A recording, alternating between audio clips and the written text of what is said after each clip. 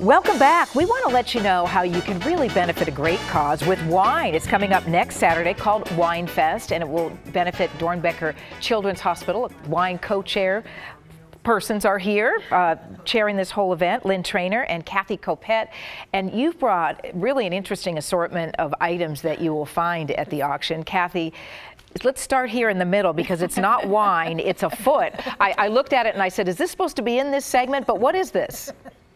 This is the uh, rabbit's foot from the show Grimm, and which was filmed here in Portland and on Channel 8.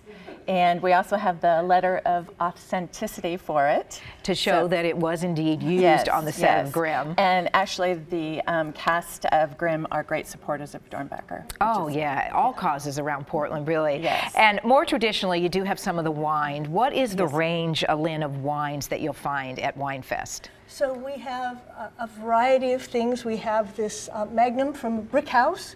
Uh, we have a um, legacy tour of the Stoller Winery. There are um, wines from the Columbia Valley. There are more than 50 wineries represented. Fantastic. Yes. And when you look at um, where the money's going to Doernbecher Children's mm -hmm. Hospital, Kathi, do you know specifically how it helps out? Yes, actually, all the proceeds from this will go to the grant program and uh, I know uh, Lyn um, knows a little bit more about that.